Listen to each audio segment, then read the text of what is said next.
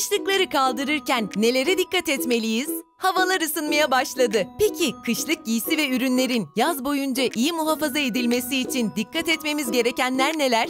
Hadi yazı karşılamaya hazırlanın. Başlıyoruz. İlk olarak tekrar giymeyi düşünmediğimiz kıyafetleri bir kenara ayırıyoruz. Hepimizin dolabında bir iki kere hatta belki hiç giymediğimiz kıyafetler vardır. Bu durum kıyafetlerin dolaplarımızda gereksiz yer kaplamasına ve dağınıklığa neden olur.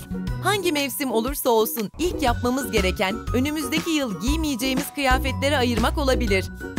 Bunu yaparken giyilebilir durumda olanlara dikkat ederek temizledikten sonra ihtiyaç sahipleri için ayrılan giysi kumbaralarına koyabilirsiniz. Fazlalıklardan kurtulduktan sonra kaldırmayı planladığımız giysi ve eşyaları temizliyoruz. Çünkü bu ürünlerin üzerinde bulunan deodoran ve benzeri kalıntılar sararmalarına ve zarar görmelerine neden olabilir. Kıyafetleri kaldırmadan önce temizlememizin bir diğer nedeni de giysilerin üzerinde leke ya da yemek kırıntılarının güvelere davetiye çıkarmasıdır. Bu sebeple ilk aşamada daha önce giydiğimiz tüm giysileri yıkamanızı ve nemden olumsuz etkilenmemeleri için tamamen kuruduğundan emin olduktan sonra kaldırmanızı tavsiye ediyoruz. Temizliğin son aşamasında giysilerimiz arasından tadilata ihtiyaç duyanların tadilatlarını gerçekleştirerek kışa hazır halde saklamak güzel fikir. Şimdi sıra alan temizliğinde. Giysilerimizin temizliğini sağladıktan sonra düzenli bir şekilde katlayıp tüm kıyafetleri kaldırabiliriz. Fakat öncesinde yapmamız gereken birkaç şey var. Öncelikle giysi ve ürünlerimizi yerleştireceğimiz alanın da temiz olduğundan emin olmakta fayda var. Örneğin kışlık giysileri saklamak için bazalar oldukça kullanışlı alanlardır. Bazamızı sildikten ve kurumasını bekledikten sonra kıyafetlerimizi yerleştirme işine başlayabiliriz.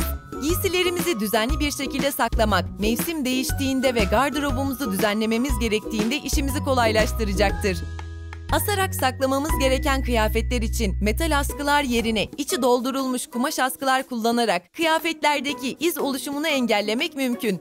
Katlayarak saklanan kıyafetlerde kırışıklıkların derinleşmemesi için dikiş yerlerinden katlama işlemini gerçekleştirmeye özen gösteriyoruz.